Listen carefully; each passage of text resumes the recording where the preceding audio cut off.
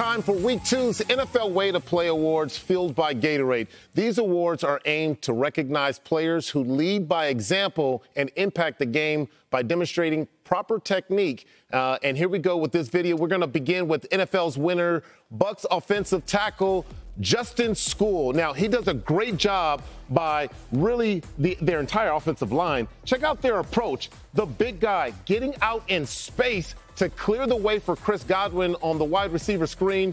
Godwin pushes up, and then tight end Cade Otton does a great job sealing and protecting the throw and catch. Skule and company demonstrates textbook hand usage and space to finish the play and get the defenders down. That right there is textbook.